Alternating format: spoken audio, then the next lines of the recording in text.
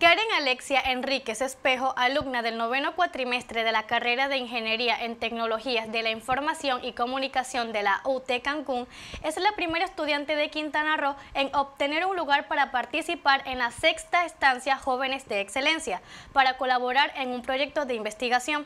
Durante un mes estuvo Karen en una estancia en el Centro de Investigaciones en Óptica del CONACIT, colaborando en un proyecto de investigación que consistió en hacer una serie de pruebas de grabado de vidrio en diferentes muestras, lo cual forma parte de un proyecto más grande que está desarrollando los investigadores de este lugar.